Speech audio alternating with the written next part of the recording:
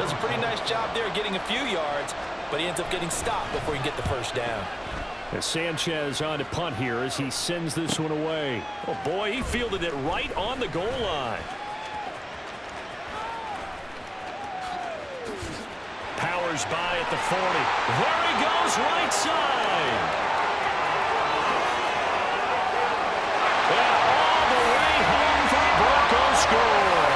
Incredible from goal line to goal line. Officially, it is a 100-yard punt return. And the Broncos